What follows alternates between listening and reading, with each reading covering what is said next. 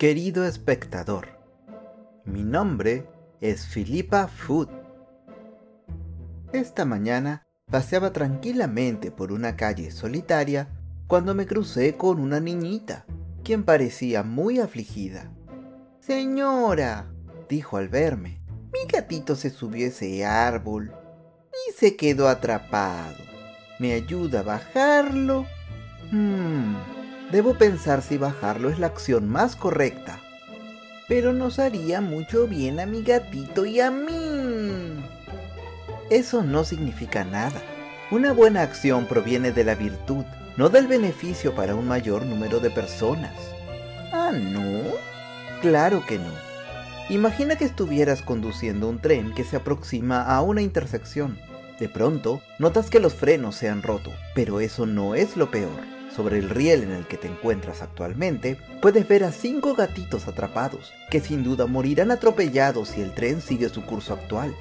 ¡Oh, no! Entonces descubres que tienes una alternativa.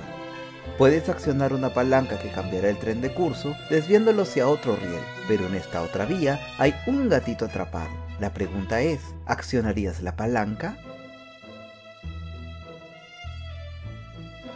El dolor de mi corazón, sí lo haría. Sacrificaría a un gatito, pero salvaría a cinco. Ahora toma este otro ejemplo.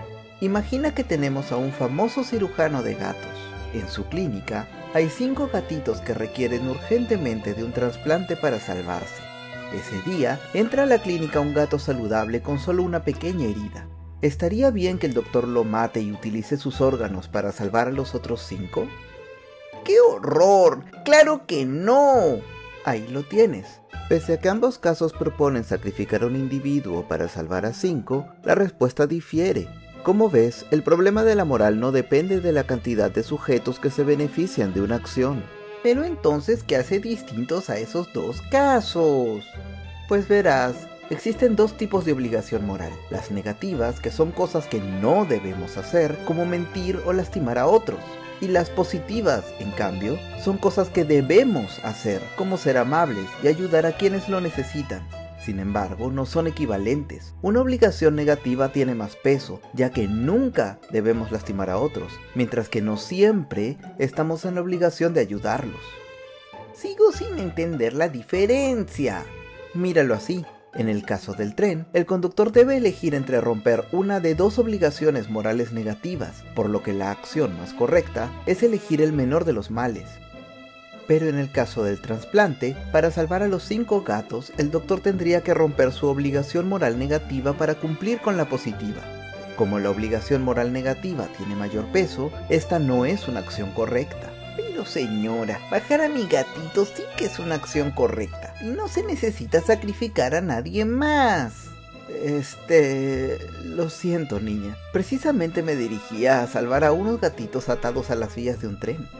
Eso suena muy conveniente. Te aseguro que mi única motivación es salvar a esos pobres gatitos, no preservar el estado de mi maravilloso atuendo nuevo.